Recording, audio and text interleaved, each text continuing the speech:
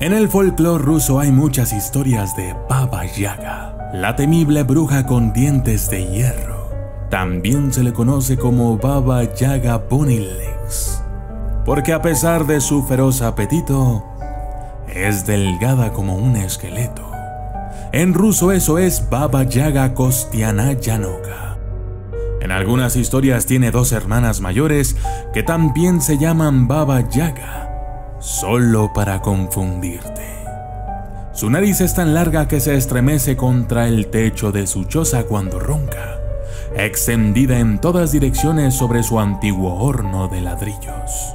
Al no ser una bruja aburrida y convencional, no lleva sombrero y nunca se la ha visto en un palo de escoba. Viaja posada en un gran mortero con las rodillas casi tocando su barbilla y se empuja sobre el suelo del bosque aterrorizando a cualquier transeúnte.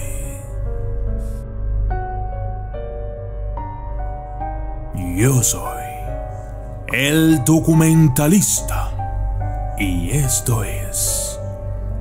Baba Yaga.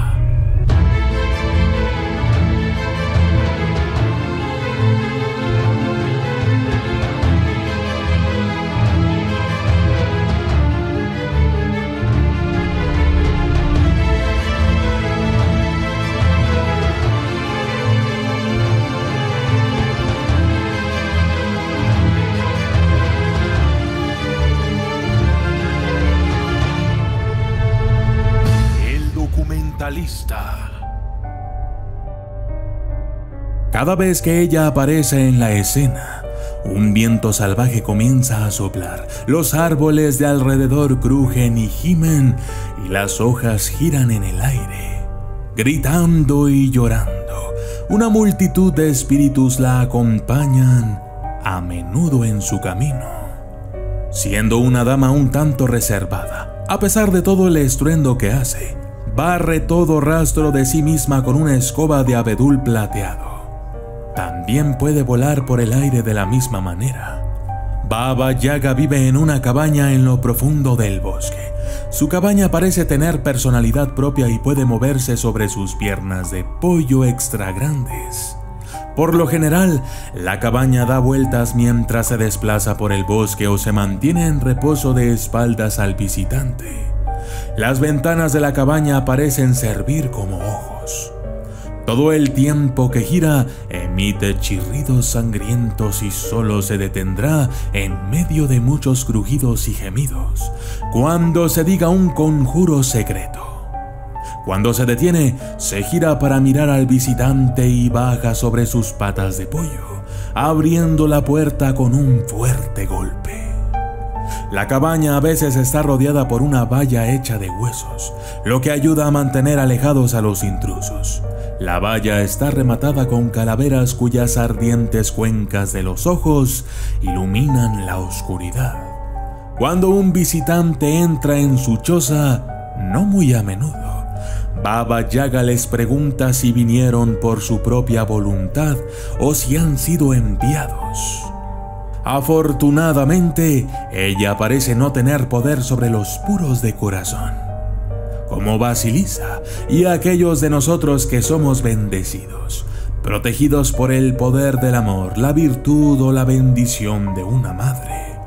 Baba Yaga gobierna sobre los elementos. Sus fieles servidores son el jinete blanco, el jinete rojo y el jinete negro, los cuales son el brillante amanecer, el sol rojo y la medianoche oscura. Entre sus otros sirvientes hay tres pares de manos sin cuerpo y un tanto amenazantes que aparecen de la nada para cumplir sus órdenes. Los llama mis amigos del alma o amigos de mi pecho. Y es más que un poco reticente a hablar de ellos con Basilisa.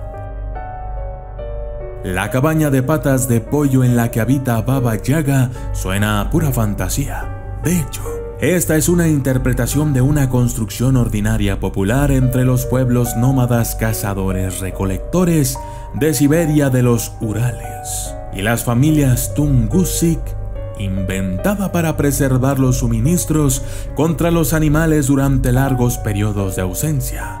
Una cabaña que está construida sobre soportes hechos de tocones de dos o tres árboles de crecimiento cercano cortados a la altura de 8 a 10 pies. Los tocones, con sus raíces que se extienden, dan una buena impresión de muslos de pollo.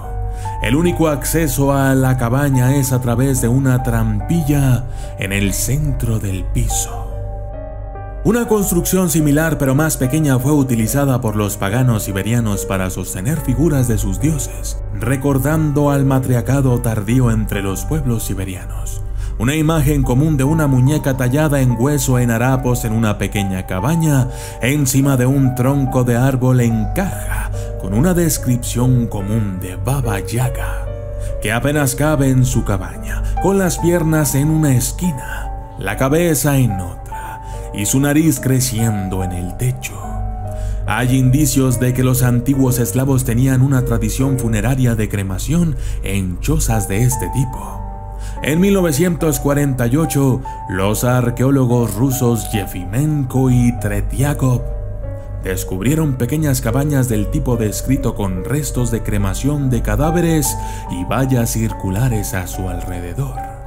Otro personaje extraño que sirvió como pastor para Baba Yaga es el hechicero Koshei el Inmortal. Y aquí hay un misterio para ustedes. Mientras da instrucciones a Basilisa, Baba Yaga menciona que alguien rencoroso había mezclado la tierra con sus semillas de amapola. ¿Qué podría haber querido decir?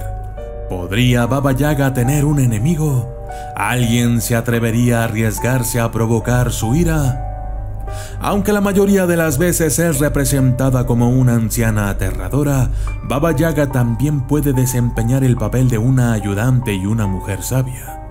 La Madre Tierra, como todas las fuerzas de la naturaleza, aunque a menudo salvaje e indómita, también puede ser amable. En su disfraz de bruja sabia, a veces da consejos y regalos mágicos a los héroes y a los puros de corazón.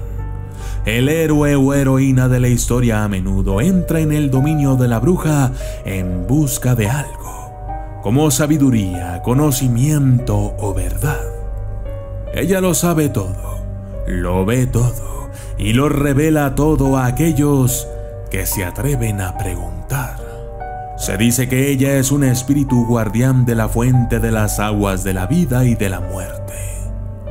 Baba Yaga es el arco crona, la diosa de la sabiduría y la muerte, la madre hueso, salvaje e indomable. Es un espíritu de la naturaleza que trae sabiduría y muerte del ego. Y a través de la muerte, renacimiento.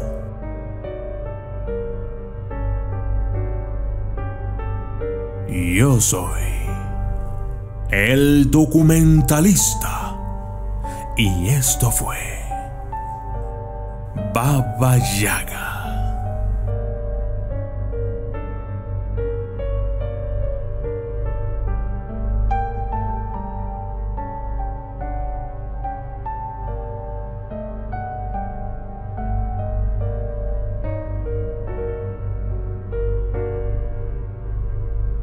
Saludos especiales para Flavio Vázquez, usuario Google, Cadafi García, Nayeli Torres, El Diario del Reptiliano, Julieta Ávila, José Gerardo Morales, Eduardo Pérez Segura, Frank Yanac López, Alejandro García, Jiménez Solca, Kristen Antonio, Juan Carlos Campo Argumedo, José Juan Carrillo Pérez, Michelle Brock, Luz de Ángel, de Rocky Killer, Kyo Haruno Hiburachi, Jorge Daniel Ferreira, Blue Blue, William Psycho Clown, Lizette Martínez, Carlos Ayuso, Gustavo Hernández García, Kevin Abel Guillén Cervantes, Da Moore, Abraham Uriostegui, Ali Asla, Carlos Andrés Rivera Jackson, Deadpool Velázquez, Eric Castillo, Jesús Tamara Mercado, Marco y sus seguidores Pro Gómez y